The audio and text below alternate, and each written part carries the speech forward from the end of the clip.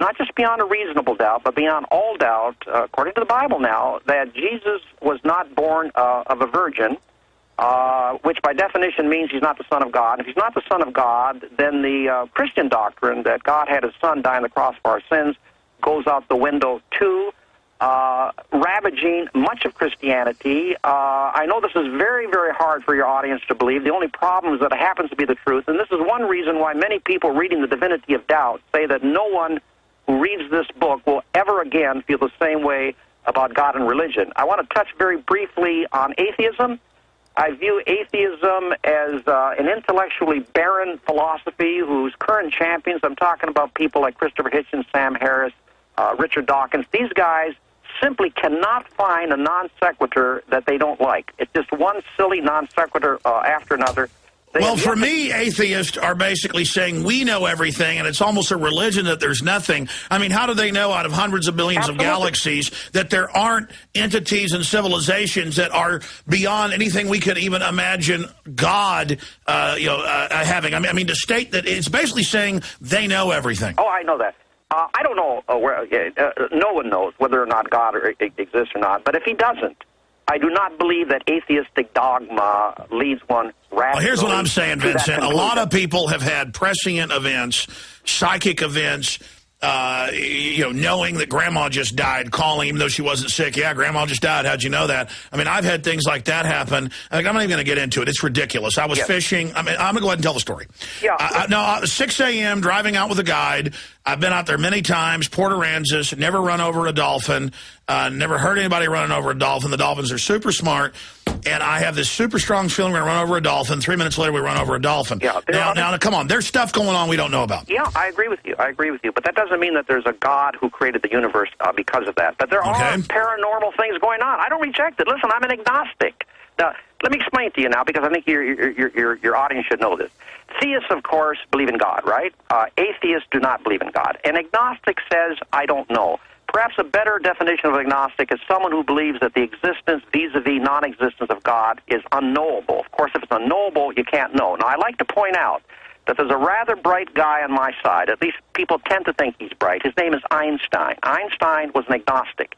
Interestingly enough, Darwin turns out to be an agnostic. I say interestingly enough, uh, uh, Alex, because most evolutionists uh, are, are atheists, and yet the founder of evolution, Darwin, turns out to be an agnostic. My view uh, on the existence of God, it's an impenetrable mystery.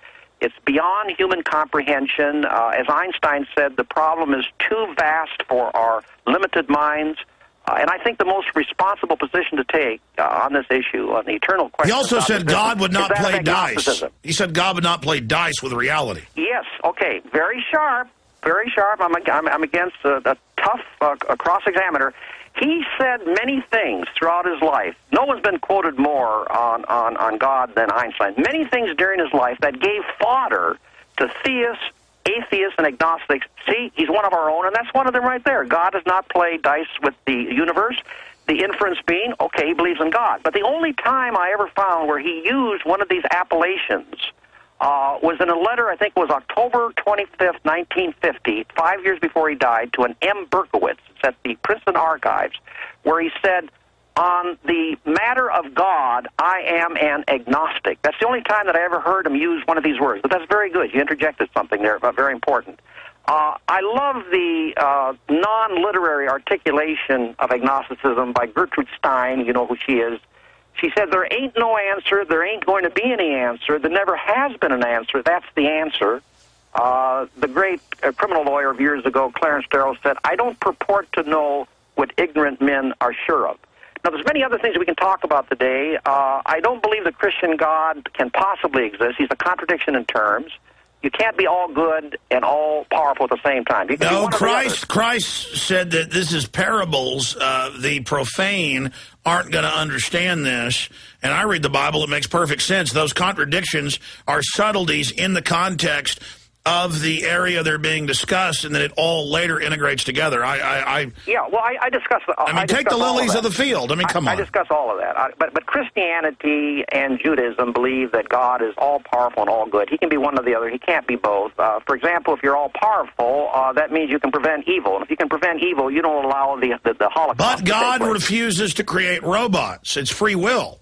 Well, so, I, just, so, I just told you. Wait a while. I, wait a well, I the globalists say I don't have free will because then they want to tell me what to do because they've got their will. They want me rudderless. Look, I got free will. I know I do. Okay. Uh, uh, I don't know if there's free will or not. Let, let's assume, even though I told you that the Bible says there's no free will, let's assume that there is free will. And you hear what Christians say.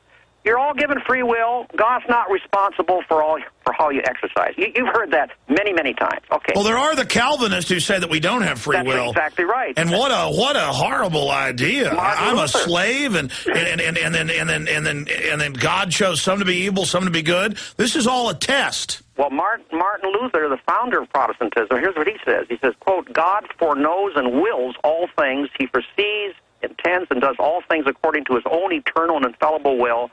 He said, quote, this knocks free will flat. I'm not saying Luther is, is right, but he's the guy that founded Protestantism. He says this knocks free will flat and utterly shatters it.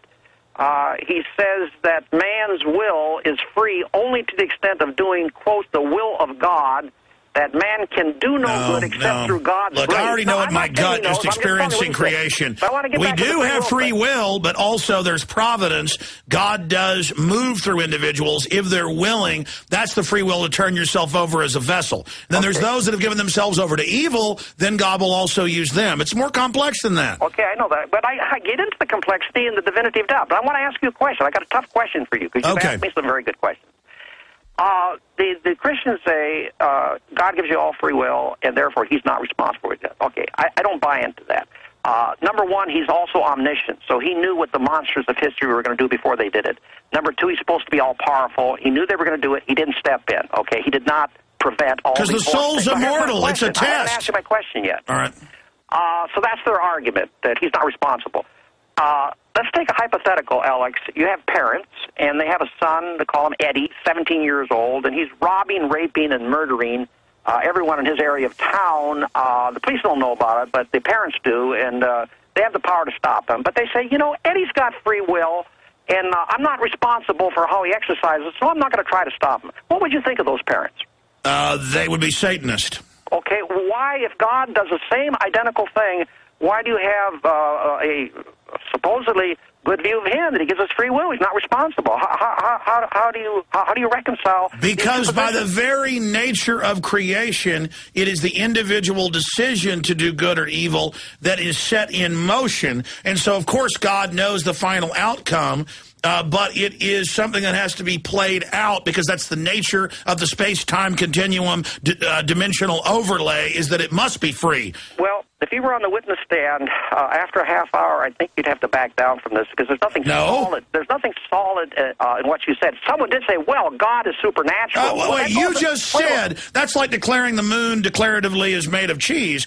Uh, I mean, that might fool you know somebody uh, who's got a low IQ on the on one, of- one of the jurors. But come on, I said something pretty heavy there. Okay, but factually, uh, it doesn't make any difference whether it's God or the the, the Yeah, but here's the here's the difference, Mr. Bugliosi. I've had experiences I won't even share on air. Okay. let me tell you, this stuff is not vapors or hallucinations. The experiences I've had in my life that are mine and I'm and they're personal. Let me tell you, there's a lot going on in heaven and earth that aren't in all your books. Well, I agree on that. I agree, and I don't reject it. I, uh, I'm an agnostic. I don't reject what you're saying. There's a lot of paranormal things going on. That doesn't necessarily mean, however, that there's a God who created the universe. Okay. Doesn't necessarily mean that. But there are strange things going on. A a, a twin is uh, is brutalized by some thugs, and uh, his twin uh, across the country feels the pain at the same time. No, it's all real. It's all real. Yeah, no, we only saying, see a tiny fraction of reality.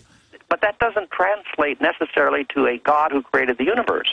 Well, okay, let me ask you this question. I always had a dream, a recurring dream till I was about 12. I had it almost every week, where I would go to the very edge of the universe. I had it from the time of like a baby, uh, first memories, till I was 12 or 13, and it, I stopped having it. Very intense. Uh, studying it, you know, scientifically, you'd say it was a low oxygen dream, something like that could manifest this. But it would be the great question of what happens at the end of the universe, what created matter to begin with. Okay, Big Bang, what was before that? And, and, and then you have to ask, what is this dimensional creation? And then at the end of the dream, I was just gasping for air uh, in the incredible presence of uh, something so uh, indescribable that it it, it, it simply envisioned creation. I mean, I mean, come on. Uh, Vincent, what what made all this then? I mean, where does it end? Where did it come from? Can't know. you feel? That's, can't you feel it? Don't you feel it? That's why I said I'm an agnostic. That's why Einstein and Darwin were agnostics. Talking about going all the way back, I want to give you a good argument that theism, those that believe in God, have come up with, and you, you probably, uh, well, I'm sure you know about it. It goes back to the 13th century. Thomas Aquinas, his yes. Summa Theologica, uh, first cause. First cause means that uh, everything in existence, whether it's a peach on a tree, uh, a car, a, a shoe, was caused by something else, and that in turn was caused by something else. I'm going to get into the Big Bang in a moment here now. Uh, but this regression in the chain of causation, it's believed, cannot go back into infinity. It has to go back to something which was not caused by anything else, which was independent. Uh, Aquinas called it the first cause, the uncaused cause, uh, uh, uh if you will. Uh, and that uncaused cause, that first cause, theists believe is God. Now, how do the atheists and the scientists get around it? Well, they come up with the Big Bang Theory, which holds that at some point in time, about 13.9, 13.7 billion years ago, the universe exploded into existence in a zillionth of a second from some subatomic uh, particle. Now, apart from the fact that on its face it doesn't seem to make sense that the universe could explode into existence from something much, much smaller than the point of a needle, let's give the the, uh, uh, the physicists their due. We don't understand these things, but there's also, I think, a very enormous defect with that reasoning. No matter how small that subatomic particle was, no matter how small it was, it was something. And let me repeat, it was something. And the question is, and I went over to Caltech, read the books on it the, the, the authors don't address themselves the question, which is an automatic question, who put that something there? They don't ask that question. You follow? And so, what made that something? That's right. I agree. I agree. But are we going back to a first cause, as Aquinas says, and that first cause is God? I don't know. I'm not saying that first cause is dispositive of the issue, but it's a very difficult logical argument to get around. Well, look, the point is we don't know what's going on. I can feel the presence of the energy source that creates all life in the universe. And uh, I just feel so sorry for these atheists because they are they, they've like put the blinders on. Uh, you've got to be open to it to experience it. We'll be right back. Well, I want to be clear. I have a personal relationship with Jesus Christ, and I am a Christian. And people can analyze it all day and, you know, say that a Christian God's impossible and find contradictions. Uh, you know, it's all intellectual, uh, but at the same time, personal and spiritual experience. And it's also, um, you know, one person reads poetry and sees ugly poetry, someone else sees something beautiful. But that's why I wanted to get Vincent Bugliosi on today, because I think that by talking to him in this big book he's got out right now, uh, that it uh, gets people to, to, you know, really think about the nature of the world. I just wonder why world leaders are trying to build a 10-union nation global government and trying to bring in this cashless society to track us. I, I, I guess you would say, Vincent, that all this Big Brother stuff, that's just basically people taking the Bible and using it as a blueprint or revelations? No, no. I, I don't know why they're doing that. I'd have to study it. I'd have to study... Uh, okay, so what's your view on the Big Bang, then? Where did it all come from? Keebler elves?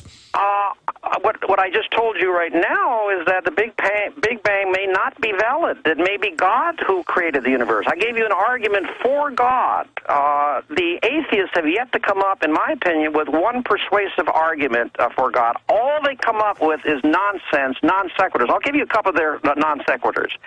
If God existed, they say, why do we have all the horror and evil in the world? But that presupposes that God has to be all good, which is an obvious non sequitur. He obviously can be all powerful without also being all good. I'll give you another one.